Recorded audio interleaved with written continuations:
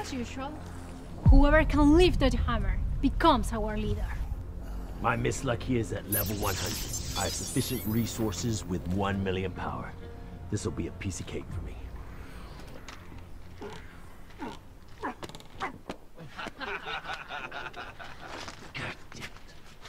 Oh, poor kid.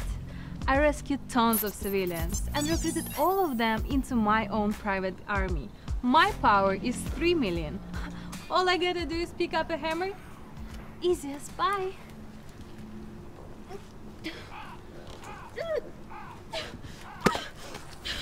I don't have as many soldiers as you. I only have a dog, and my power is five! What? How did you do that? In this game, high power only means high population. It doesn't mean you're strong.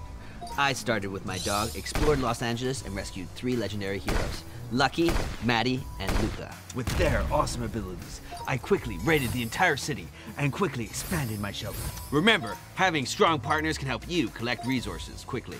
And using resources wisely is the key to getting stronger! Yeah! State of Survival. Play now.